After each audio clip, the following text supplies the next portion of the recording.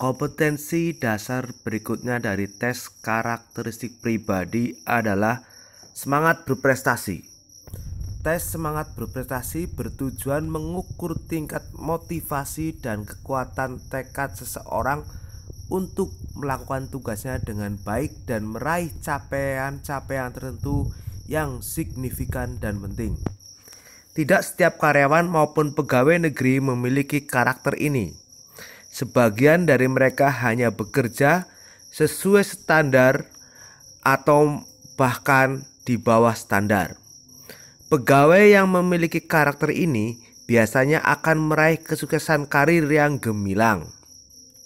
Contoh soalnya, atasan Anda menetapkan target tugas harus selesai pada deadline tanggal 27 bulan ini.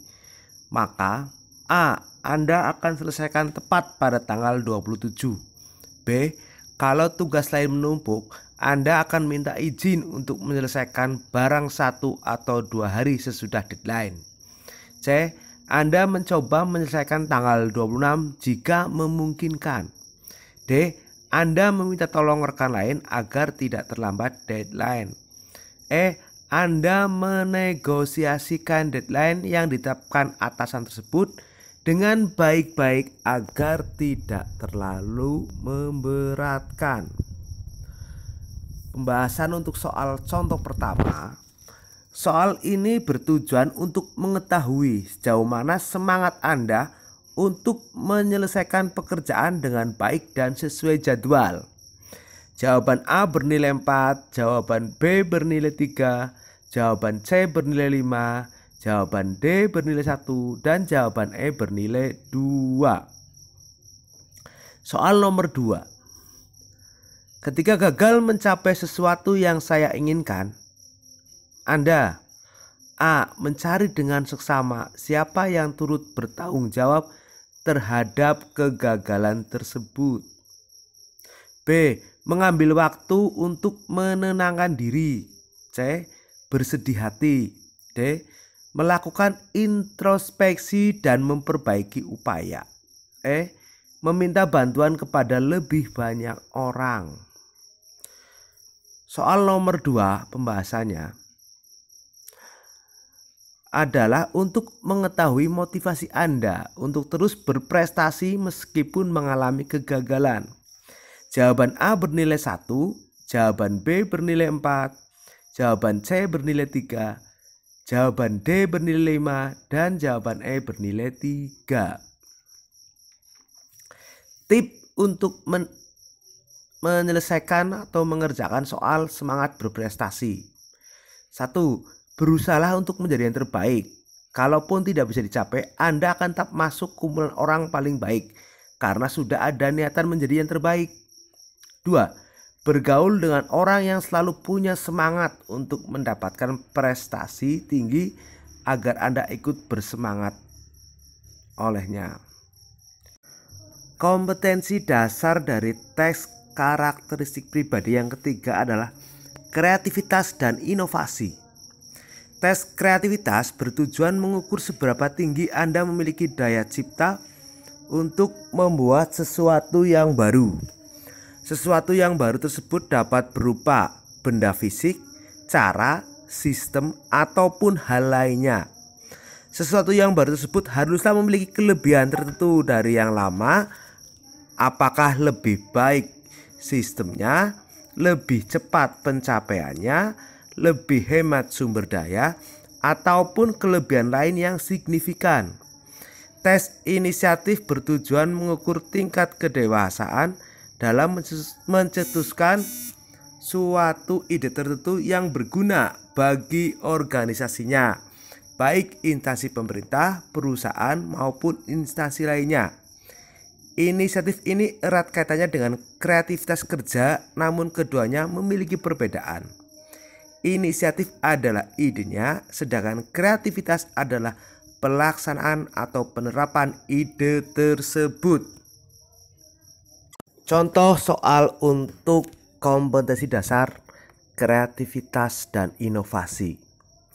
Anda mengajukan suatu usulan kepada atasan Anda, namun usulan tersebut menurut atasan Anda kurang tepat. sikap Anda adalah A. Merasa sangat kecewa B. Mencari alternatif usulan lain yang lebih tepat C. Kecewa namun berusaha melupakan hal tersebut D. Saya bersikeras mencari upaya pembenaran terhadap usulan tersebut agar dia mau menerimanya. E. Ditolak bukanlah sesuatu yang baru bagi Anda. Pembahasannya, soal ini bertujuan untuk mengetahui semangat Anda untuk terus berkreativitas dan berinovasi meskipun mengalami penolakan. Jawaban A bernilai 2, jawaban B bernilai 5, jawaban C bernilai 4, jawaban D bernilai 1, dan jawaban E bernilai 3. Soal nomor 2 Pimpinan kantor menggelar rapat kerja membahas penyusunan rencana kerja untuk tahun anggaran depan. Setiap pegawai diharapkan mempersiapkan usulan untuk kegiatan tahun depan. Respon Anda: A. Berminat mengajukan suatu ide kegiatan yang akan dilaksanakan meskipun nantinya ide tersebut belum tentu diterima B. Tidak berminat sama sekali untuk mengajukan suatu ide kegiatan. C. Akan mengajukan suatu ide kegiatan jika diminta oleh pimpinan. D. Mungkin berminat untuk mengajukan suatu ide kegiatan yang akan dilaksanakan namun tergantung situasi dan kondisi. E. Ragu-ragu untuk mengajukan suatu ide kegiatan karena akan kecewa jika tidak diterima. Soal ini bertujuan untuk mengetahui sejauh mana semangat Anda untuk terus berkreativitas dan berinovasi untuk kemajuan organisasi. Jawaban A bernilai 5, jawaban B bernilai 1, jawaban C bernilai 4, jawaban D bernilai 3, dan jawaban E bernilai 2. Tip untuk mengerjakan soal kreativitas dan inovasi. Satu, cobalah mengerjakan suatu rutinitas dengan cara yang berbeda dari biasanya. Cobalah pergi ke kantor dengan rute atau kendaraan yang berbeda. Cobalah memikirkan suatu ide yang belum pernah terlintas dalam benak. Cobalah untuk sering bertukar ide dan gagasan dengan orang lain yang lebih pintar. Jadilah yang pertama memberikan ide-ide segar dalam pekerjaan.